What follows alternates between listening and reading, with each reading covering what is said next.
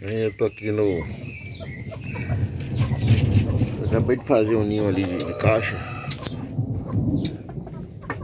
Esse é o, o, pai do terreiro aí, ó.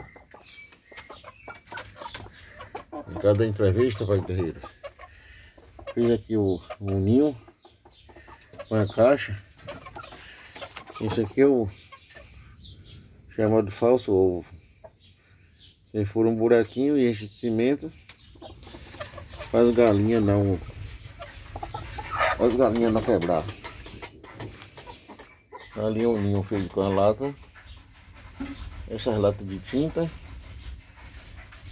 Ali é um comedouro. E aqui a câmera aqui. Por enquanto o pai do terreiro está sendo aquele ali, ó. Esse aí está sendo o pai do terreiro.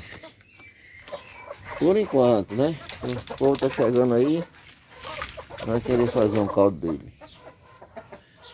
E ele é valente, viu? Facilitar ele pulando nas pernas.